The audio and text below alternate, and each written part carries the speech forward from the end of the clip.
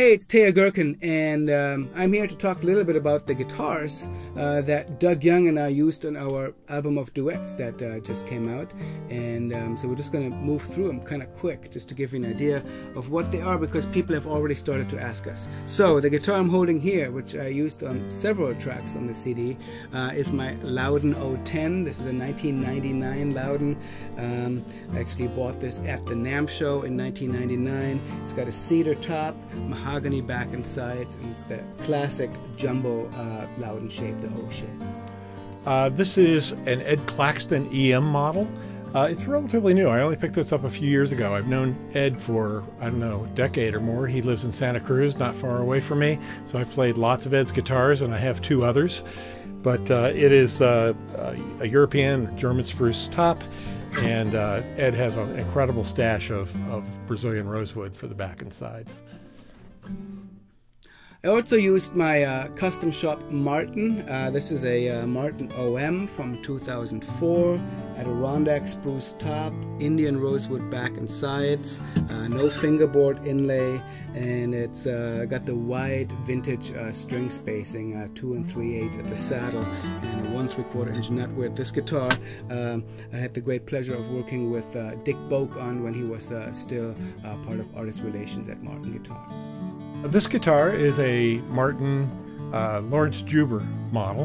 Uh, when Laurence first uh, had these made, he did, I believe, a run of 100 or so in Indian rosewood and then a short run of 50 in Brazilian rosewood.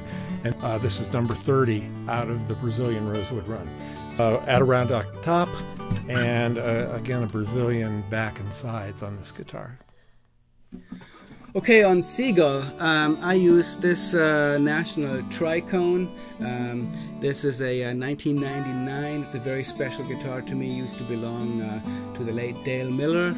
Um, I acquired it uh, from his widow Terry after he passed away. It's a great um, uh, Tricone built in San Luis Obispo by National Resophonic.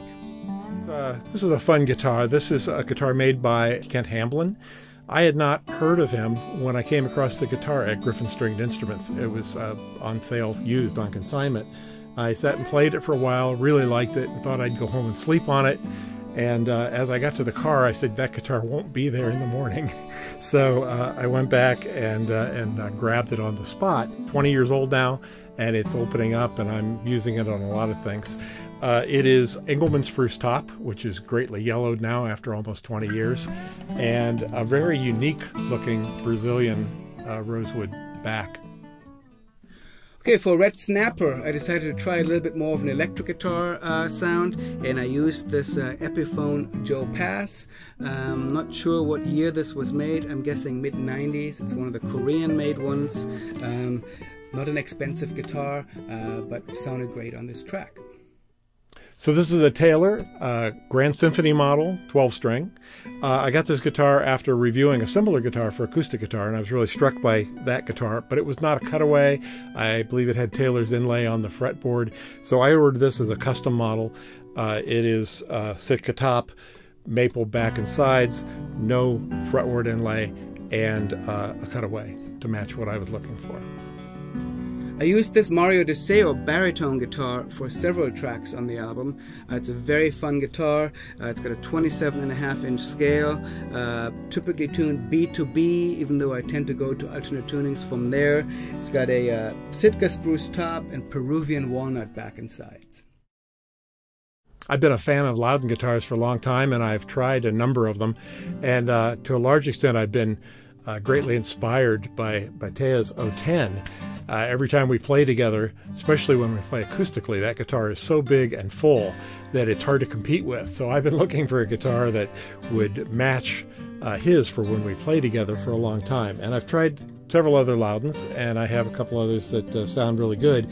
But this 035 uh, showed up at Gryphon recently, and uh, I really liked it. It seemed like it was one of the loudest and uh, uh, fattest sounding of the bunch. So it still doesn't compete with the 20 year old O10, but it's got tw- in 20 years it probably will.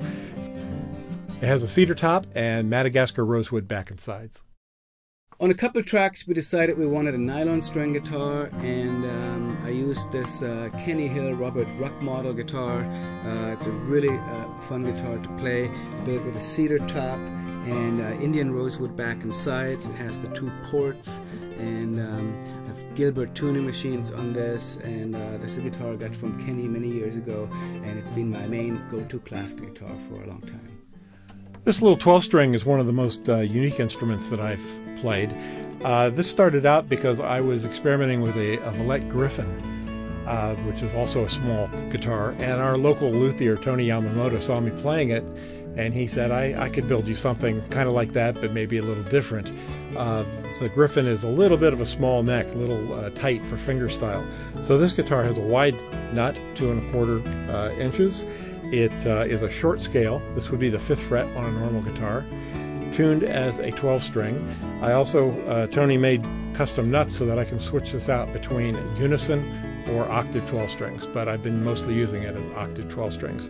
The top is a wood called Paulownia, which is a very uh, light and soft wood that comes from Singapore that Tony really likes. The back, however, is Macassar ebony, so the guitar is fairly heavy because of that.